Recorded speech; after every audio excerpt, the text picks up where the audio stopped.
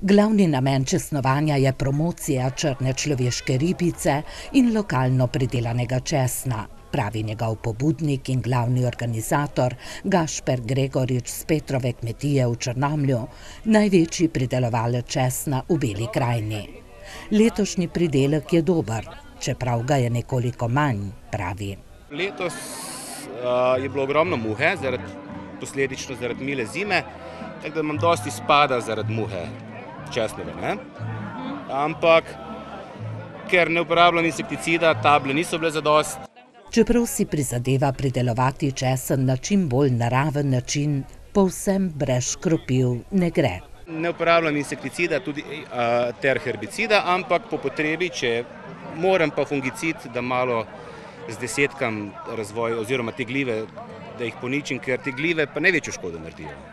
Vsekakor pa je česen lokalnih ponudnikov veliko bolj zdrav in kakovosten kot tisti, ki ga kupimo v trgovinah, pravijo izkušeni belokrajnski kuharji, ki so na česnovanju predstavili 25 jedi obogatenih s česnom.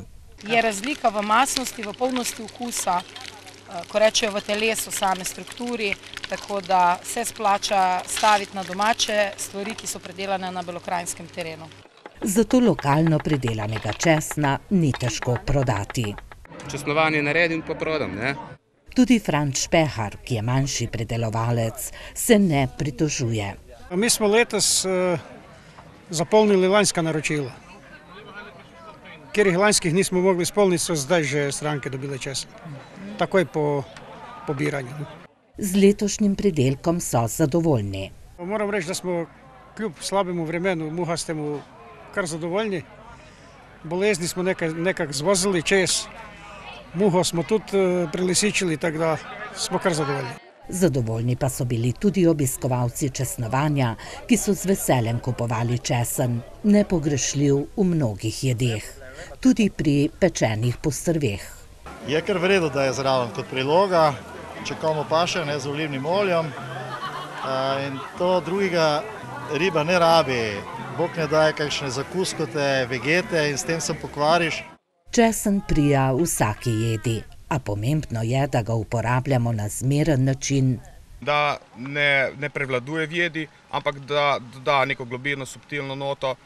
So nam pripovedovali kuharji, medtem ko so pripravljali zelo različne jedi, vse začinjene s česnom. Se mi zdi, da vsako leto so gospodinje bolj in bolj drzne, uh, vidijo, probajo. Danes bodo pri nas probali in potem nas bodo vprašali, in pripričana sem, da bodo drugo leto pripravili sladoled.